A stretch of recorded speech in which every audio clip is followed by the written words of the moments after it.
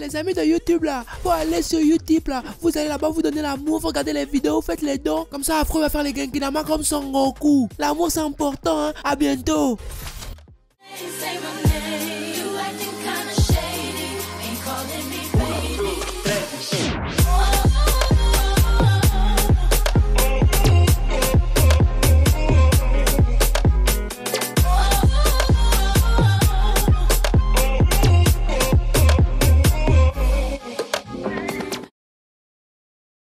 Hé hé, t'as kiffé les lolis, hein? Eh bah non, c'est pas des lolis, c'est des Valkyries. Des jeunes filles au pouvoir démentiel que tu peux collectionner dans Honkai Impact 3. Équipe tes combattantes des meilleures armes. Fais-les combattre en temps réel sur le champ de bataille. Rejoins une armada, qui est l'équivalent d'une guilde. Rejoins plus de 28 000 membres sur le Discord officiel pour avoir des astuces et discuter avec d'autres membres. Participe à de nombreuses missions qui te permettront de vibrer, mais surtout de débloquer d'autres Valkyries. Tu veux que je te dise ce que moi j'aime bien dans ce jeu? C'est l'aspect personnalisation. On peut quasiment tout personnaliser. Des attaques de notre personnage à sa tenue. Bref, c'est vraiment très complet. Et je te parle même pas des events qui sont régulièrement présents et qui te coûteront moins cher en cristaux. À cause des 1 an du jeu, c'est très sympathique. Oui, j'aime bien. En plus de ça, souvent je vais à la base pour construire un espace plutôt sympa pour mes Valkyries. Quoi Me juge pas On a tous nos petits défauts. Moi j'y joue déjà et je suis à fond dedans. Voici mon idée et n'hésite pas à m'ajouter. Si le jeu t'intéresse, tous les liens sont dans la description. Crois-moi, tu vas kiffer. Mais en attendant, trêve de bavardage, je te laisse avec la vidéo.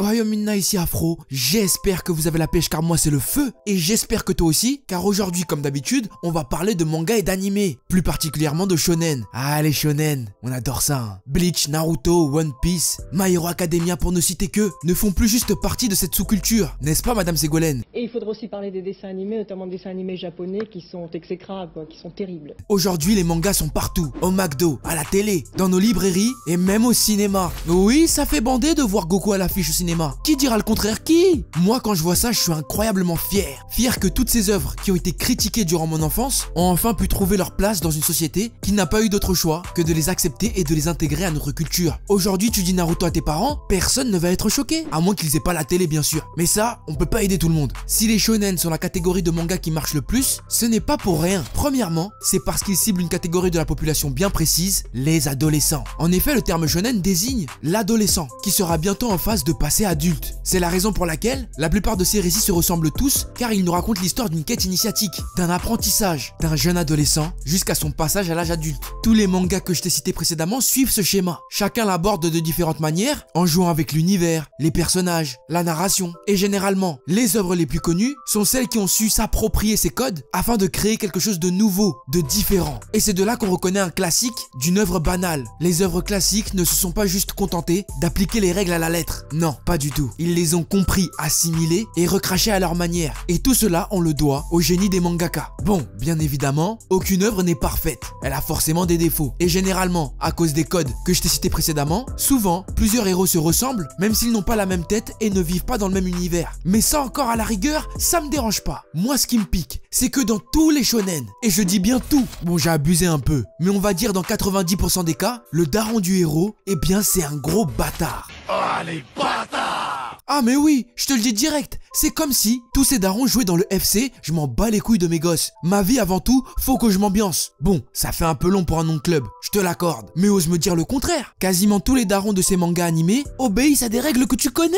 Première règle, ne jamais être là. La plupart du temps, ils sont absents pour des raisons professionnelles ou personnelles, et très souvent, même le héros ne se souvient pas de lui. Et lui, il redébarque comme ça, comme une fleur, comme si de rien n'était. Il y a des pères, ils sont culottés, hein, je te le dis, moi. Ils abandonnent leurs enfants, après ils reviennent, ils font des blagues normales, comme si c'était au Jamel Comedy Club. On est d'accord qu'ils abusent. De plus, le passé du père est toujours mystérieux. T'en as certains qui veulent rien déclarer du début à la fin du manga, et t'en as d'autres qui se lèvent un matin et qui décident de tout poucave. Enfin bref, pour moi, certains pères sont peut-être parfois plus cruels avec leurs gosses que les propres méchants de l'histoire. C'est la raison pour laquelle, assieds-toi bien sur ta chaise, prends du popcorn, et aujourd'hui, on va parler des 5 pires darons dans les mangas animés. T'es prêt? C'est parti Daron bâtard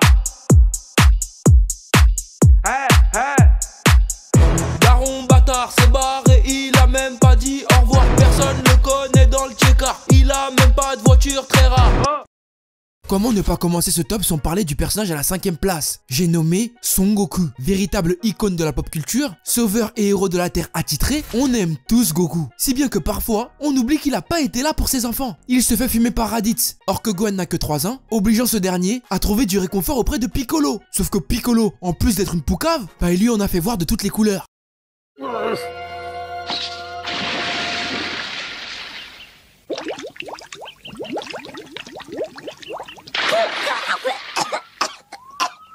Ça suffit, arrête de faire l'imbécile, écoute-moi J'ai 6 ans, monsieur, j'ai juste besoin d'affection. Va là-bas, dégage. Rends-toi compte du traumatisme. Tu passes d'un papa, entre guillemets humain, à un bonhomme tout vert qui te met des pénaltys dans le ventre et qui te laisse te débrouiller dans la nature. Après ça, il a passé quelques temps dans l'espace, suite à sa victoire contre Freezer, et après, alors que Gohan n'a que 13 ans, il se sacrifie pour le bien de la Terre et réapparaît, or que ce dernier a 17 ans. Il a complètement loupé l'adolescence de son fils. Et je te parle même pas de Goten qui a vu son père alors qu'il avait que 10 ans. Rends-toi compte, la première fois qu'il voit son père, il a 10 ans. Et tu sais c'est quoi le pire? Qu'à aucun moment il n'a éprouvé du regret. T'as déjà vu Goku dire Désolé franchement, les enfants j'ai pas été là, je suis pas cool. Non Actuellement dans Super, le gars a plus de 40 balais et ça ne l'intéresse pas de s'excuser. Il passe encore son temps à aller jouer les durs. Alors oui, tu me diras, c'est pour le bien de l'humanité, Goku est un sauveur. Gna gna gna Gna gna gna mais juste un excuse-moi, ça l'aurait pas tué. C'est peut-être à cause de lui qu'on a perdu Gohan. Il est là, il nous manque, il veut pas se battre. Mais c'est peut-être juste pour ne jamais ressembler à son père qu'il a décidé d'arrêter les arts martiaux. Oui, réfléchis-y. Mais encore une fois, je parle de Goku, mais c'est loin d'être le pire. Crois-moi, les quatre autres, ils sont pas du tout du même niveau. Daron bâtard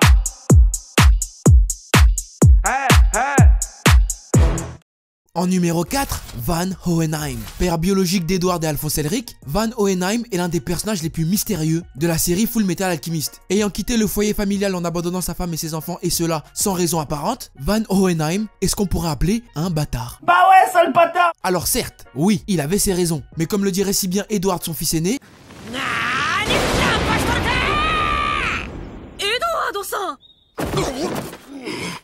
十何年ぶりに帰ってきたと思ったらこのざまがクソ親父 c'est chaud quand même. Tu te rends compte Même pas une carte postale. Là, on n'en est même pas au niveau de Goku, frérot. Edward et Alphonse ont grandi sans souvenir de leur père. Il n'a jamais été présent pour eux, et même si plus tard dans le manga, il essaiera de se racheter, eh bien cela ne prendra toujours pas. Malgré tout, on sent qu'il s'en veut. Car c'est à cause de lui que tous les problèmes commencent, et en plus de ça, c'est à ses enfants de les régler. Et encore une fois, cela lui fait énormément de mal. De savoir qu'il n'a pas pu sauver la femme qu'il aime et sa propre progéniture. Mais Hohenheim est l'un des rares de cette liste à tout de même être attachant. Tu sais que c'est un connard, tu le sais, t'en as conscience, mais ah, tu l'aimes bien. Et ça, c'est pas comme les trois autres qui arrivent. Parce que jusqu'à aujourd'hui, le troisième personnage de cette liste, je sais pas si je l'aime parce qu'il est badass ou si en termes d'éducation il bat tous les records. Daron bâtard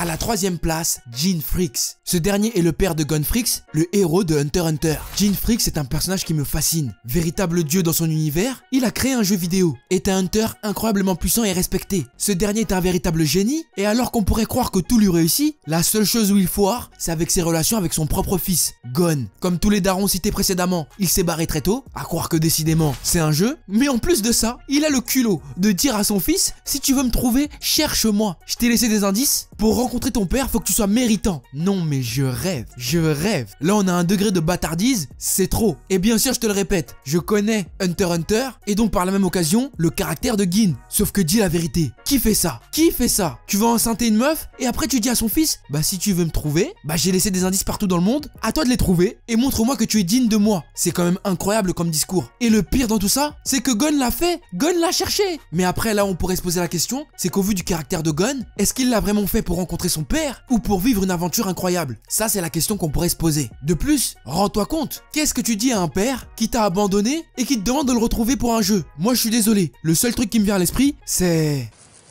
Nique ta mère Ne rigole pas, tu lui aurais dit quoi à ma place? Écris-le moi dans les commentaires. Bref, en définitive, Gene Freaks, c'est vraiment pas un daron idéal. Mais alors vraiment pas. Car même lorsqu'il verra son fils en piteux état, rien, pas une émotion. À ce rythme-là, autant ne pas avoir de père. Car en avoir un comme ça, c'est pas facile. Non mais attends, qu'est-ce que je raconte? Qu'est-ce qui est pas facile? Gene Freaks Non, en vrai ça va. Ouais, en vrai ça va. Parce que le deuxième, c'est peut-être pour moi le pire de tous, je ne le veux pas comme père. Au grand jamais, je ne le veux pas. S'il vous plaît, tout mais pas lui.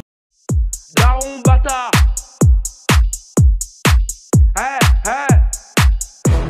À la deuxième place, Yujiro Hanma, père du jeune héros Baki. Il est le principal antagoniste de ce dernier, car il est considéré comme étant l'homme le plus fort du monde. Rien que ça, rien que ça, ça te donne la couleur. Il est totalement violent, incontrôlable. Il peut tuer par plaisir ou satisfaction. Il est surnommé l'ogre. Oui, ça fait peur, l'ogre. Alors pour te faire un rapide topo, il n'y a pas 36 solutions dans la vie de Yujiro Hanma. Premièrement, c'est... C'est la bagarre. Rends-toi compte, c'est tellement un bâtard qu'il a tué sa femme dans des conditions qui font froid dans le dos.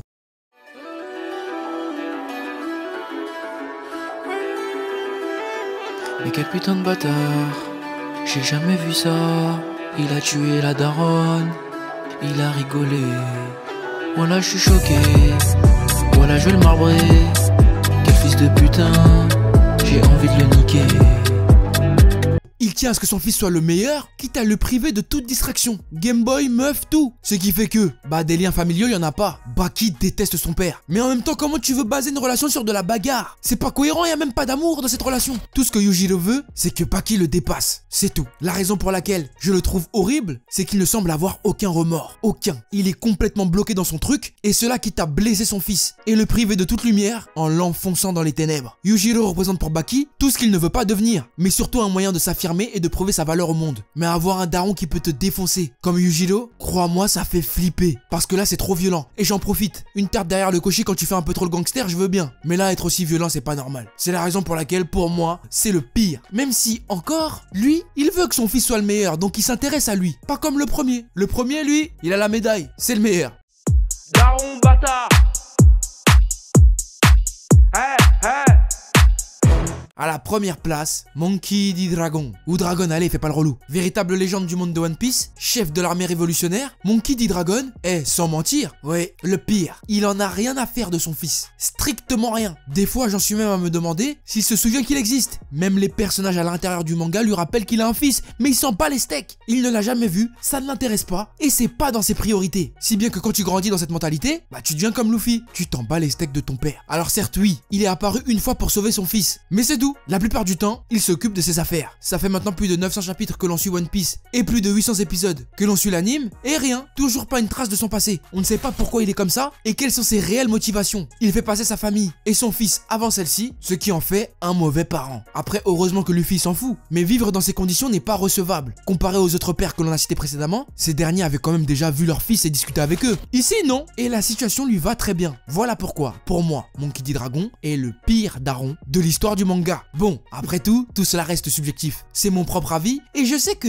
toi aussi tu as ton classement des pires darons dans les animés. Voilà pourquoi, écris-le moi dans les commentaires, qu'on puisse les comparer et voir qui est le pire. Et je tiens à rajouter pour finir que même si j'ai dénigré ces personnages, je les adore. Voilà, sur ce c'est la fin de cette vidéo. J'espère qu'elle t'aura plu. N'hésite pas à mettre un gros pouce bleu si tu l'as apprécié, abonne-toi à la chaîne et rejoins la famille frérot, c'est important. Suis-moi sur les réseaux sociaux, Facebook, Twitter et Instagram pour ne rien louper de l'actu de la chaîne. N'hésite pas à me soutenir sur Utip en regardant des pubs ou en faisant un don, ça me ferait extrêmement plaisir. Quant à moi, je te dis à très vite sur cette chaîne pour de nouveaux contenus. Sayonara frérot Allo, allo, t'es où descend Chaque fois dans sa coche, je repars en courant. Mais moi, mais moi, j'oublie rien, je suis trop content. Je venu pour couper des têtes et des tympans. Réponds-moi au phone tel quand je t'appelle. Les bitches sont pressées comme si c'était Noël. Elles parlent pas chinois, mais finiront au lit. J'ai baisse en criant, ici c'est Paris. Tant pis, je n'ai gros trop de flow, j'ai la vie devant moi. Aujourd'hui, tu snobs, mais demain, tu suceras. Y'a devant le daron que je regarde vers le bas. Chérie, fais des squats, sinon moi, je te ken pas. On se connaît pas.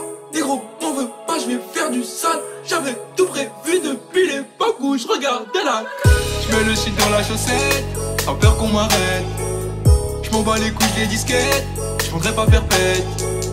Je mets le shit dans la chaussette.